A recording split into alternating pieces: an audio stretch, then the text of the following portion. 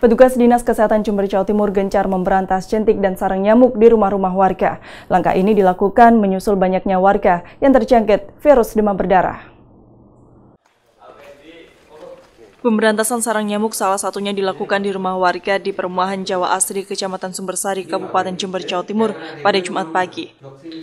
Petugas Dinas Kesehatan mengecek satu persatu rumah dan ruangan kamar mandi, tandon air, dan kolam bermain. Pengecekan untuk memastikan di tempat tersebut tidak ada jentik nyamuk. Petugas juga menabur bubuk abate untuk membasmi jentik yang dapat berkembang biak di dalamnya.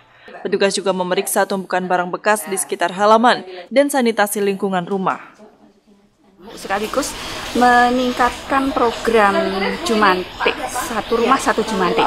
Jadi satu rumah ada satu juru pemantau jentik jadi keluarga dari rumah tersebut. Untuk uh, setiap Jumat atau sekali seminggu melihat memantau semua uh, bak-bak penyimpanan air untuk terbebas dari jentik.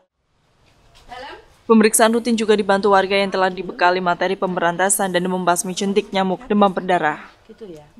Yang diperiksa tadi ada beberapa rumah yang menggunakan bak mandi yang disinyalir e, masih ada jentik-jentik, tapi alhamdulillah sampun tidak ada, termasuk eh, tandon-tandon, kolam ikan, termasuk ada warga yang tadi ada e, sebagian di terasnya ada genangan air itu yang diperiksa. Tapi alhamdulillah 90% eh, untuk jentik-jentik mati.